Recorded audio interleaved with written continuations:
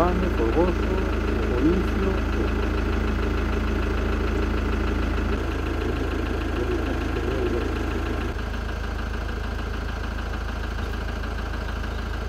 Eran alrededor das 4 da tarde de hoxe cando os servizos de emerxencia recibían unha chamada alertando dun accidente no lugar de Rebelle na parroquia de Santa Cristina de Asma en Carballedo.